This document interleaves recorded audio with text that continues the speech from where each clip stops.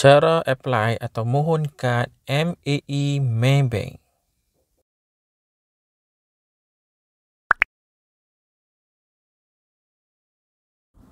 Buka aplikasi MAE. Kemudian lihat pada menu di bawah skrin. Anda boleh nampak more tu. Tekan pada more. Kita nak apply kad MAE kan? Jadi seterusnya kita pilih apply. Lihat pada menu di bahagian atas skrin ada beberapa kategori di situ pilih cards. Dalam menu ini kita boleh pilih untuk apply pelbagai jenis kad. Untuk apply kad MAE tekan pada MAE card Aplikasi MAE akan minta kita masukkan password jadi masukkan password Maybank to you anda kemudian tekan next. Untuk bahagian ini saya fast forward lah ya.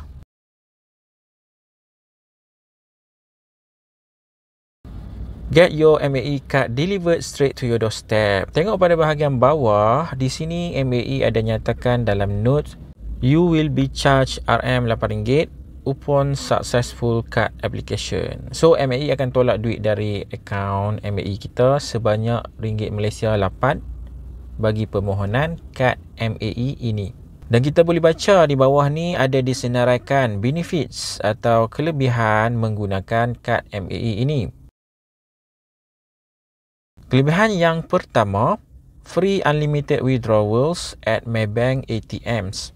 Maksudnya tiada apa-apa cas dikenakan bagi pengeluaran duit akaun MAE kita melalui mana-mana ATM Maybank. Kelebihan kedua, attractive forex rates for overseas spending and online shopping. Bermakna kadar pertukaran wang asing yang menarik bagi perbelanjaan di luar negara dan juga ketika membeli belah dalam talian.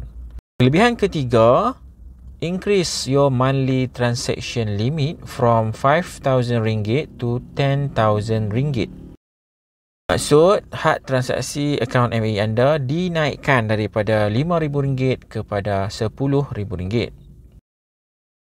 Kelebihan keempat, had akaun MAE anda dinaikkan aa, ha, daripada RM4,999 kepada RM10,000. Seterusnya tekan continue. Okey baru perasan akaun MA saya duit tak cukup. Akaun saya dalam uh, ada dalam RM5 lebih sikit je. Jadi saya kena top up dulu akaun MA saya. Sekiranya baki akaun MA anda mencukupi, anda tak akan nampak mesej inilah. Untuk kes saya ni memang kena top up dulu, okey? So tekan pada top up now. Seterusnya masukkan jumlah untuk top up minimum top up untuk akaun MBE adalah RM10. Jadi uh, saya akan top up RM10. Masukkan RM10 dalam ruang enter amount. Kemudian tekan pada tanda right. Seterusnya pilih pay from uh, akaun pilihan anda. Contoh saya pakai saving account saya. Tekan top up now. Okey, top up successful. Alhamdulillah. Seterusnya tengok pada bahagian bawah skrin. Tekan pada done. Alright, duit dalam akaun MAE dah cukup, barulah boleh tekan continue. Ha, tekan continue. Dalam form ni, MAE akan minta kita sahkan alamat untuk penghantaran kad fizikal MAE. Sekiranya alamat yang dipaparkan adalah alamat yang anda sahkan untuk menerima kad MAE jadi tak perlu buat perubahan apa-apa ya. Contoh dalam video saya ini saya nak MAE hantar kad ke alamat pejabat saya jadi saya ubahlah. Untuk anda terpulang kepada anda. Cuma pastikan anda masukkan alamat yang betul okey. So bahagian ni saya fast forward lagi.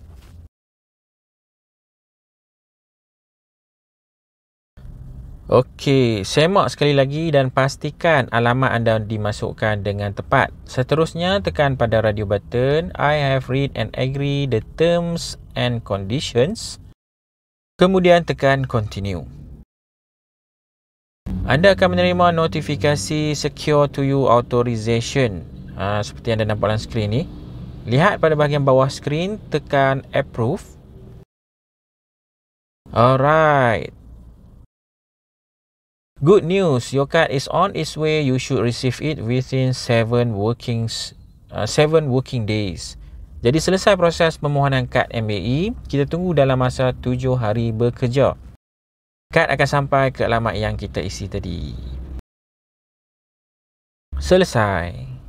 Bagi anda yang berminat untuk mendapatkan kad MAE, pastikan anda daftar dahulu e-wallet MAE dan jangan lupa masukkan kod SMZ12011 untuk dapatkan RM5 percuma ke akaun MAE anda.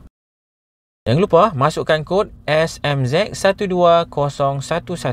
Sekian, terima kasih kerana menonton. Jangan lupa subscribe di my channel. Assalamualaikum. Bye-bye.